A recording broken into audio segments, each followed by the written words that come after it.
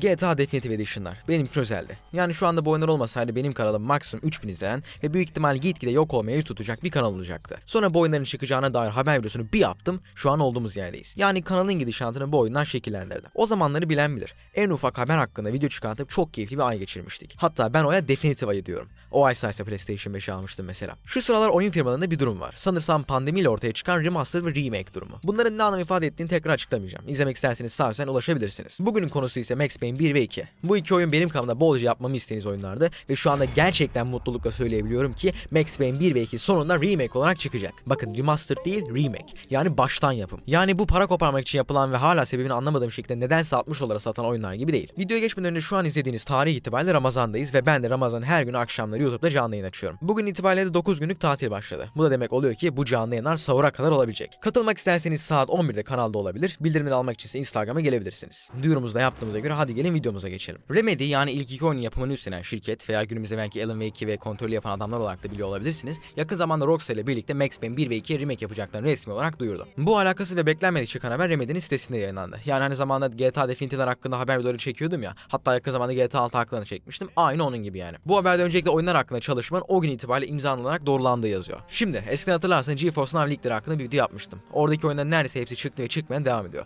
God of War PC, GTA Remastered'lar ve Uncharted falan. Fakat bu oyunlar orada yoktu. Yani bu demek oluyor ki yapmaya yeni başlıyor olabilirler. Bu da oyunun 2023'te çıkması demek olabilir. Remedy bu remake'leri single title yani anladığım kadarıyla tek bir pakette PC, PlayStation 5 ve Xbox için çıkartacakmış. Yani Definitive Edition'lar gibi 1 ve 2 aynı pakette ayrı ayrı satılmayacaklar. Ve dikkat ettiyseniz bu listede şimdilik PlayStation 4 yok. Bu iyi bir şey çünkü PlayStation 4 9 yıllık bir teknoloji olduğu için oyunu ona çıkartmak için kendilerini zorlamayacaklar ve oyunun kalitesini düşürmeyecekler. Günümüzde tanıdığımız birçok YouTuber bu konudan yakındığı için haberdarsınızdır. PC ucu açık bir makinedir. 10.000 TL'lik de olabilir, 100.000 TL'lik de. Ayrıca her 3-4 sene bir yeni ekran kartı işlemciler falan gelir. Ama konsollardan 8 sene boyunca bir tane vardır. Bu da demek oluyor ki yapımcılar oyunlarını bu eski konsollara çıkartmak için kendilerini zorlarlar. Ya bu durumda şöyle düşünün. Last of Us Part 2 sadece bilgisayar özel bir oyun olarak çıksaydı grafikleri ne kadar mükemmel olurdu siz düşünün. Neyse burada anlatmak istediğim PlayStation 5 ve Xbox'lar daha yeni çıktığı için donanımsal bir bariyere takılmayacaklar. Şimdi biraz teknik detaya inelim. Bu oyunlar ne Rockstar'ın Render Wave ile ne de Definitive Edition'lar gibi Unreal Engine ile yapılacak. Özellikle Unreal'ın garip bir şekilde her oyunda kullanılmasıyla beraber şaşırtıcı bir şekilde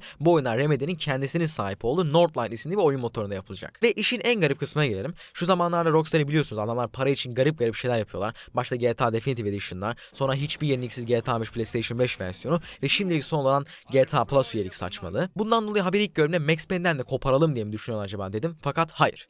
Bu oyunu tamamıyla Remedy yapıyor. Yani Teoman büyük ihtimal yönetici olarak geri dönüyor. Rockstar'ın bu projedeki tek görevi para sağlamak ve oyunu dağıtmak. Ve arkadaşlar burada gerçekten oyuncuların yapması gereken bu oyunları satın almak olmalı. Çünkü Rockstar'a günümüzde kaliteli bir şey yapınca daha çok para geldiğini göstermemiz lazım. Sonuçta şu oyunlar bile 10 milyon satılmış. Yani bunun 20 milyon satılması Rockstar'ın çalışma prensibini biraz da olsun değiştirebilir diye düşünüyorum. Ha tabi remake'ler diye paradan kısmıyorlar sağ olsunlar. Oyun normalde bir AAA oyuna ne kadar harcanılırsa o kadar harcanılarak yapılacakmış. Mesela bir örnek olarak Control 30 milyon dolar bütçeyle yapıldı. Bu arada oyun da bayağı güzeldi. Ne alaka bilmiyorum ama PlayStation 5'imi aldığımda ilk oynadığım ve gaza gelip %100 bitirdiğim bir oyun oldu. Videosunu çekemediği için en azından bu videoda bahsedeyim. Tamam şimdi şunu tekrar açayım. Bu haberi Instagram'da gezerken ilk gördüğümde yaptığım şey tarihi kontrol etmekti. 1 Nisan mı falan diye. Ama yok tarih 6 Nisan'da. İkinci olarak ise 2000 yıllarının başında çıkmış oyunlara sırf Definitive Edition yazısı ve Unreal Engine'in büyük ihtimal bir tıkla açılan ışıklandırmanı ekleyip bu 3 oyunu günümüzün oyunları gibi davranılarak çıkartıldığını görünce buna da aynısının olacağını düşünüyordum ki hayır. Vay ne biçim bir tamlama yaptım lan. Remedy lafın arkasında durarak bunların orijinalin havasını bozmayıp biraz güzelleştiren remasterlar değil de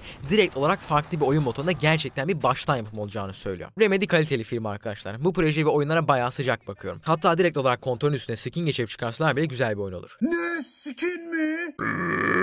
Günümüzdeki grafiklerle Max Payne hikayesi oynamayı gerçekten çok istiyorum. İşte bu sefer isteklerinize bir cevap olarak evet bunun serisi gelecek. Ha bir de gene Definitive Edition'ların kötülüğünü söylemek için şu detayı vereyim. Grove Street Games aşırı derecede az insanla çalışan mobil oyun yapımcılarıydı. Rockstar büyük ihtimal bu adamların şirketini ceplerinde kalmış azıcık bir parayla aşırı derecede ucuz bir miktara aldı ve önlerine var olan bütün platformlara çıkartması için bu projeyi attı.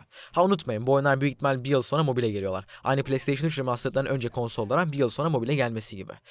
Ah Rockstar ah. Yani anlayacağız bu remake Max Payne'ler modlanmış Max Payne'ler gibi durmayacaklardır. Adamlar baştan katman çıkarak projeye başlıyorlar. Bu da teknik olarak bunları yeni bir oyun yapar. Aynı Resident Evil 2 remake gibi. Ayrıca dediğim gibi Rockstar bu oyunlara sadece destek sağlayacak ve dağıtımını yapacak. Yani aynı eskiden orijinal oyunları yaptıkları gibi. Remedy'nin yazdığına göre Sam Hazur demiş ki Remedy'deki insanlar bize bu projeyle geldiklerinde çok heyecanlandık ve bu yeni versiyonları oynamak için sabırsızlanıyoruz. Bakın bunu Sam Hazur demiş. Bu adamın nasıl biri olduğunu biliyorsunuzdur. Neyse şimdilik çok heyecanlanmaya gerek yok. Dediğim gibi daha imzalar yeni atılmış. Bu da demek oluyor ki bunlar daha düşünme aşamasında. Ondan dolayı oyunu görmeden çok gaza gelmeye gerek yok. Ha bir de bu adamların Alan Wake 2 diye bir oyunları var. Yani ofisin köşesinde kalmış 3-5 insana bu oyunu alttan alttan geliştirtmiyorlarsa bu oyunlar garanti olarak Alan Wake 2'den sonra çıkacaklardır. Peki size burada bir soru sormak istiyorum. Bu proje hakkında ne düşünüyorsunuz? Düşünseniz oyunları bekliyoruz bu kadar. Hatta bir tane 16 yaşındaki çocuk bu oyun hakkında birkaç dakikalık video yapıyor ve işin sonunda oyunun ismi Max Payne Definitive Edition olarak duyuruluyor. No!